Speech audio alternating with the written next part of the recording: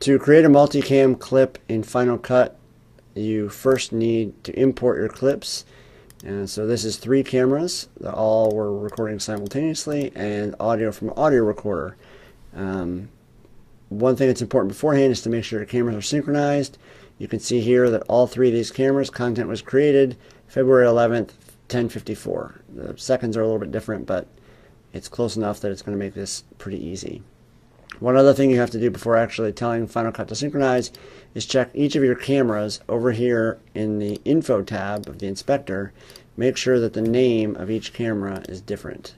So we'll just name them camera 1, camera 2, and camera 3 and this one is not going to have a name we'll just call this audio alright that way when Final Cut goes to synchronize these it will know that they're different cameras and that they should be um, not on the same track. See that in a minute. So we'll select all of these. Uh, you can either drag over all of them. You can click the first one and hold shift and click the last one or you can click them one at a time holding down the command key. It's up to you. Right click new multicam clip name this whatever you want.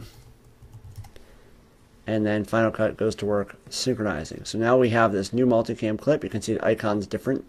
And if we double click on this, it will open down here in the timeline and you can see that all three of these camera tracks are stacked on top of each other and here's the audio track.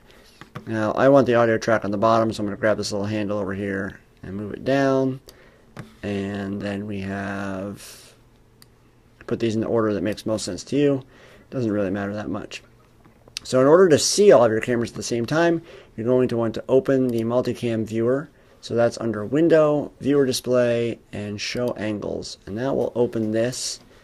And up here you can go to Settings. We have uh, three different angles, so we'll open the four angle viewer so there's enough room for all of them.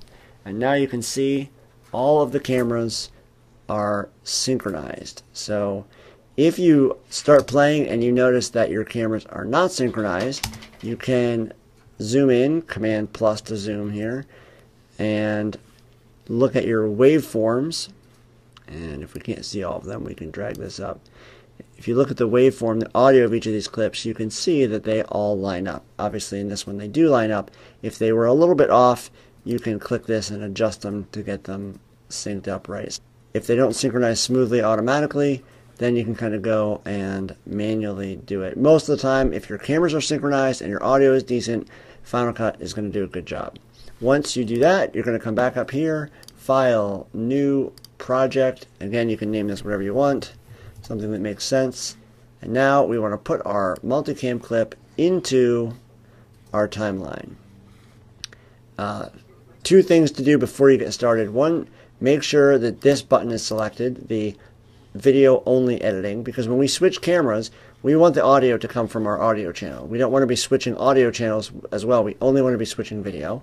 So that does that. And then um, next thing we're going to do is come down here, right click and say active audio angle audio. Okay, that means that now for this whole clip, our active angle is audio. And when we're making changes, switching cameras, the audio is not going to change, it's just going to stay. It's going to switch camera angles over top of that. So now what we can do, we can play through this. Let's see, at the beginning, we're going to go all the way to the beginning. I'm going to hit the 1 key because I want camera 1 to start, and now I can play this. And you can see the camera clips start at different points, but once they're all live here, we can see them all.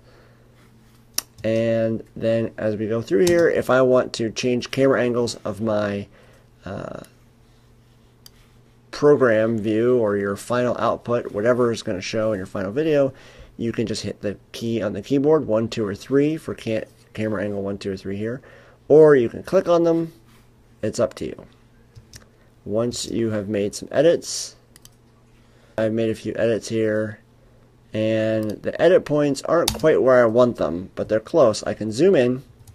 I can grab the trim tool. The shortcut for that is T, and with the trim tool, I can grab an edit point and move both of them at the same time. So if I hit that button to change camera angles and I didn't get it quite where I wanted, I can use this to kind of fine tune that. And also, just like a normal edit point, once that's highlighted in yellow, you can use the comma and the period key to adjust that edit point one frame at a time. Or if you hold shift and hit the period or the comma, you can go 10 frames at a time. So there you go. That is how to edit a multicam clip Remember, the first thing to do when you get these imported is make sure that the cameras have different names or it will put them all on the same track and they won't work. So give everything a different name, synchronize it, then make a new project that will give you a timeline to edit in, and then put your multicam down here in the timeline, set your active audio angle, and away you go.